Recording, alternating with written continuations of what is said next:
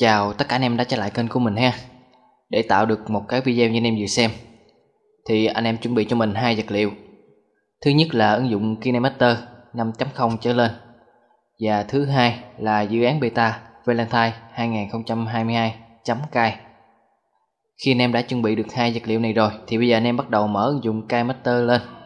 Mình bắt đầu thực hiện nghe anh em. Anh em chọn tạo mới Chọn 16, 9 Chọn nhập dự án beta Chọn OK.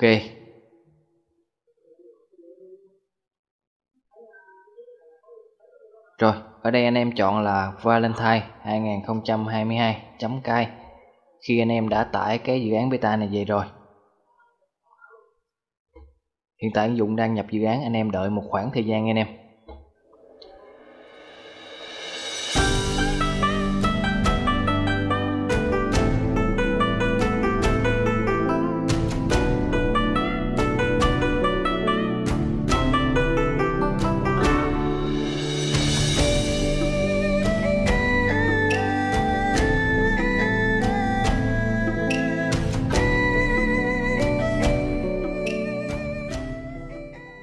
Rồi, bây giờ nó sẽ xuất hiện một dự án có sẵn như anh em đang thấy trong video.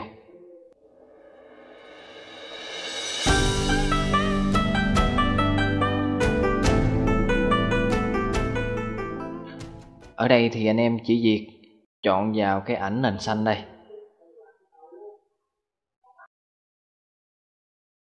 Tiếp tục anh em chọn ở đây.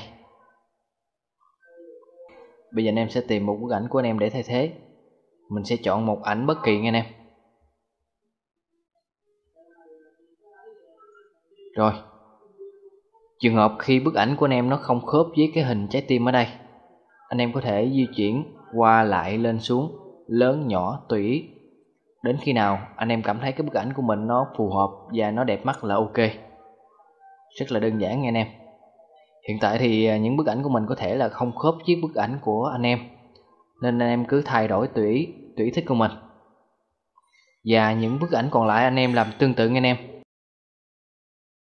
Rồi, video mình chia sẻ cho anh em. Mình xin dừng lại anh em. Nếu anh em thích thích nhớ cho mình một like, một đăng ký để ủng hộ mình.